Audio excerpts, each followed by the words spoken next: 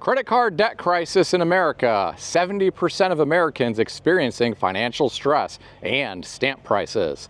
Today, I read an article on foxbusiness.com written by Megan Henney titled Credit Card Delinquency Rates Hit Worst Levels Since 2012 in New Fed Data.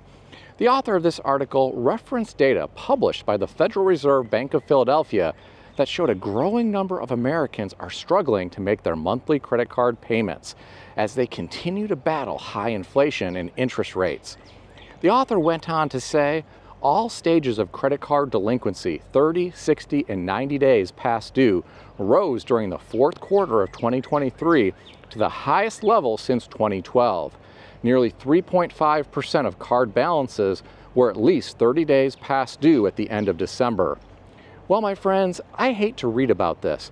Many Americans are struggling due to high inflation. There are people who have not seen their wages increase enough to keep pace with inflation. Therefore, some rely on credit cards in order to cover their cost of living. Not everyone can live further beneath their means or increase their income. For some, the credit card is the short term solution. Unfortunately, this can often lead to more financial pain in the future, especially given the high level of interest that credit card companies are charging. To my point, the author of this article said, the rise in credit card usage and debt is particularly concerning because interest rates are astronomically high right now. The average credit card annual percentage rate, or APR, has been holding steady at a record high of 20.75% last week, according to a Bankrate database that goes back to 1985. The previous record was 19% in July 1991. Ladies and gentlemen, did you notice the author said that was the average credit card annual percentage rate? Some cards have rates much higher than 20.75%. There are department store cards that are in the 30% range. I'm going to share with you some additional evidence that relates to Americans who are struggling financially. I read an article on Yahoo Finance written by Don Alkett titled 70% of Americans are facing money woes. Here are three reasons why. The author of this article referenced a survey conducted by CNBC and Momentive.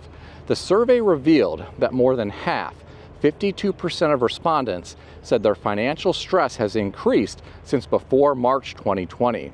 55% of those earning less than $50,000 report more financial stress than pre pandemic. 56% of those earning between $50,000 and $100,000 are stressed financially. 46% of households making $100,000 per year or more report feeling stressed financially. Keep in mind, this data is based on a survey, so the results may not be generalizable to the entire American population. However, the results are still interesting. I think it is interesting that the percentages between all of these income levels were not too different. It is clear that financial stress is prevalent here in America for some individuals. Some people levered up with a lot of debt and they may not get the relief they are hoping for in the form of interest rate cuts from the Federal Reserve. After the data that was released this past week, which shook the markets, the Fed may not move forward with the three rate cuts later this year. Note I said may not. Who knows what kind of pressure the Fed may receive during an election year, even though they are supposed to be independent. I'd like to see the Fed increase rates further to cool inflation. If they really want to attain their 2% inflation target, they have more progress to make, in my opinion. If the market throws a tantrum, then so be it. What do you think about all this? Share your thoughts in the comment section below. This next article aligns with the theme of people struggling financially in America. I read an article on foxbusiness.com written by Kristen Altus titled Angry Gen Z American details struggle to survive in viral rant. I cannot afford to live. A young man named Nick was quoted as saying, Can somebody explain to me in crayon eating terms why I make over three times the federal minimum wage and I cannot afford to live? And I do not want to hear the pull yourself up from your bootstraps, work 90 hours a week. That's not the goal, guys.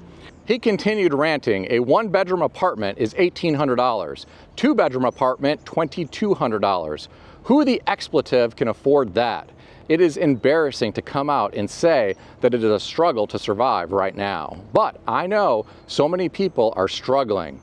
Well, ladies and gentlemen, this really illustrates the struggles that some Americans are facing. It's one thing to review data about people with no faces, but it is another thing to listen to the frustrations of someone struggling to cope in our country. I have to wonder how many other young people feel the same way right now. Some young people who got financial assistance from their parents may have had an easier time getting their footing. Others who are truly driven may start businesses once they realize working for some employers with low wages is a no-win situation. Then there will be others who will work as hard as they can for an employer that pays low wages, and they may resort to credit cards and buy now, pay later loans to help cover their cost of living. When I hear about young people like the person referenced in the article today who is struggling financially, I get concerned because they are probably unable to set money aside for retirement. Some may get stuck in an endless cycle of living paycheck to paycheck, and the years will turn into decades and before they know it, they will be nearing retirement age with little to nothing saved. Some of these low wage earners are not paying much into Social Security, so their benefit when they reach retirement age may not come close to being enough to sustain them. It is really quite depressing to think about all of this. Someone may struggle his or her entire life working a job with a relatively low wage and then continue to struggle further in retirement. As I said earlier, some may decide to start businesses, but keep in mind, a lot of new businesses fail. However, some may be successful if they are offering products or services that are in demand, and they are able to run the business as well. The problem is some people are so exhausted after working a low wage job, they don't have the energy to start a business in their time outside of work. I'm curious, what do you think the solution is to this problem? Let me know in the comment section below. Here's another interesting story relating to inflation. This article was on ZeroHedge.com, written by Tyler Durden, likely a pseudonym for writers at ZeroHedge, titled Stamp Prices Rise by 8% for the second time in four months. According to the author, the price of first class forever stamps will increase to 73 cents on July 14, 2024, which is up a nickel from 68 cents. Back in 2007, a forever stamp was only 41 cents. Well, my friends, this is one more example of how inflation is far reaching. Fortunately, many people no longer use stamps frequently because of online bill pay or using email instead of sending letters. I just think this is one more bit of information that should be considered as we watch just about everything in life get more expensive before our eyes. Are you shocked to hear that stamps are now going to cost 73 cents? Share your thoughts in the comment section below. Please keep in mind that everything in this video is for entertainment purposes only, and nothing in this video is financial advice or advice of any kind. If you need advice, seek advice from a qualified professional in good standing who puts your interests first and foremost. If you enjoyed this video, consider subscribing to the channel. Please also consider sharing this video with your friends. I want to extend a special thanks to everyone who has subscribed to this channel. I want to also thank all of my channel members. Check out some of the great books that I suggest you consider reading in the description below. I've included Amazon affiliate links to these books. As an Amazon associate, I earn from qualifying purchases. Stay healthy and wealthy. I'll see everyone in the next video.